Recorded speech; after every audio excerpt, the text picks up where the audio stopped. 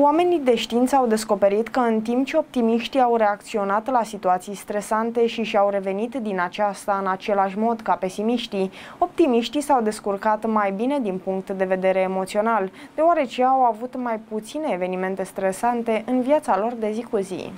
Conform știința.ro, modul în care optimiștii își minimizează doza de stres nu este clar, dar cercetătorii cred că fie evită certurile, cheile pierdute, ambuteiajele și alte motive de supărare, fie pur și simplu nu le percep ca fiind stresante de la bun început. Studiile anterioare au găsit dovezi care spun că optimiștii trăiesc mai mult și au o viață mai sănătoasă, dar cercetătorii nu înțeleg pe deplin de ce atitudinea de a vedea mereu partea plină a paharului ar putea contribui la o îmbătrânire sănătoasă sănătoasă. Un gând mai optimist nu înseamnă să ignori riscurile, aceasta este o concepție comună, dar greșită despre optimism. Poate implica recunoașterea punctelor noastre forte, a exemplelor de succes din trecut și a domeniilor asupra cărora avem control, astfel încât să putem ajunge la o perspectivă mai pozitivă și mai încrezătoare, relatează știința.ro. Optimismul este incredibil de atractiv. Mulți oameni apreciază capacitatea unei persoane de a vedea partea plină a paharului și de a-i pune pe ceilalți ceilalți pe primul loc. Optimiștii nu se înconjoară de oameni care se plâng în mod constant și care au nevoie mereu de mângâieri, ci îi ocolesc din cauza faptului că devin epuizanți.